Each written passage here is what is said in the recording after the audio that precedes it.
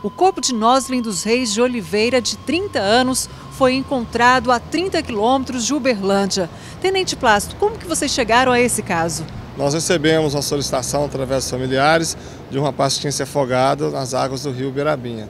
Então nós colocamos nosso efetivo, nossos equipamentos necessários, deslocamos até o local e resgatamos o corpo. O local era muito fundo, a largura do rio? Bom, é, todos os lugares onde tem água, correnteza e é, remanso são perigosos às pessoas que não têm a prática de natação. Assim que vocês chegaram lá, como que estava a família? Bom, estava muito triste, emocionado, as crianças, as crianças chorando, a esposa dele chorando, e nós prestamos assistência, resgatamos o corpo para dar melhor conforto da família.